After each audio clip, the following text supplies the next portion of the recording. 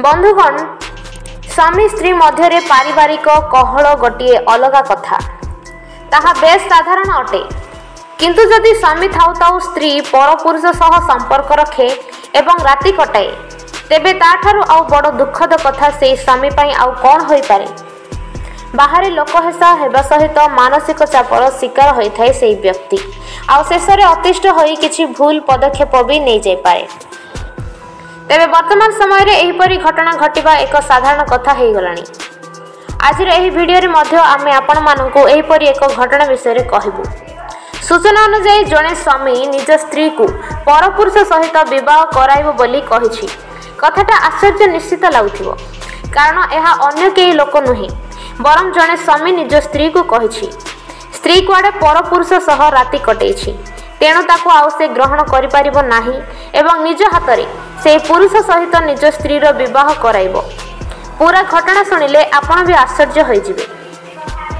ତେବେ ସୂଚନା ଅନୁଯାୟୀ କେନ୍ଦ୍ରାପଡ଼ା ଜିଲ୍ଲା ପାଟକୁରା ଥାନା ଅନ୍ତର୍ଗତ ଖମଗାଁ ଅଞ୍ଚଳରେ ଏପରି ଏକ ଘଟଣା ଘଟିଛି ଯେଉଁଠି ଜଣେ ମହିଳା ନିଜ ସ୍ୱାମୀ ବାର ବର୍ଷ ଏବଂ ଛଅ ବର୍ଷର ପିଲା ଥିବା ସତ୍ତ୍ୱେ ବି ଅନ୍ୟ ଜଣେ ପୁରୁଷ ସହିତ ସମ୍ପର୍କ ରଖିଥିଲେ। ଏମିତିକି ରାତି ମଧ୍ୟ କଟାଇଥିଲେ। ଏ ବିଷୟରେ ଜାଣିବା ପରେ ସ୍ୱାମୀ ଅତିଷ୍ଠ ହୋଇ ଥାନାର ଦ୍ୱାରସ୍ଥ ହୋଇଥିଲେ ପରେ ପୋଲିସ ଏବଂ ବଡ଼ ଲୋକଙ୍କ ପରାମର୍ଶରେ ପୁଣି ଥରେ ସ୍ତ୍ରୀକୁ ପାଖରେ ରଖିବାକୁ ନିଷ୍ପତ୍ତି ନେଇଥିଲେ।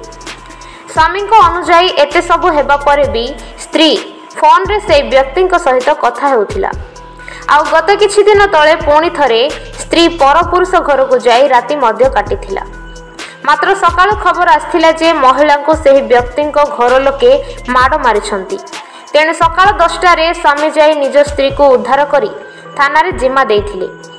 ତେବେ ବର୍ତ୍ତମାନ ସ୍ୱାମୀର କହିବା କଥା ଯେ ସେ ନିଜ ସ୍ତ୍ରୀକୁ ଆଉ ଗ୍ରହଣ କରିପାରିବେ ନାହିଁ। କାରଣ ତାଙ୍କ ସ୍ତ୍ରୀ ପରପୁରୁଷ ସହ ରାତି କଟାଇଛି।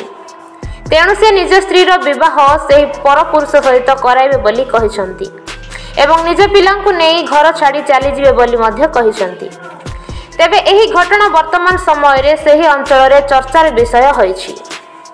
বন্ধুগণ, ভিডিও ভালো লাগিলে ভিডিওটিকে গোটিয়ে লাইক করিদেবা সহ নিজ সাংগমানক সহিত সেয়ার নিহাতি করন্তু দৈনন্দিন জীবনরে ঘটুଥିବା ঘটনার খবর সহিত অপডেট রহিবা পাই এবে হি আম চ্যানেলকু সাবস্ক্রাইব করে দিয়ন্তু ধন্যবাদ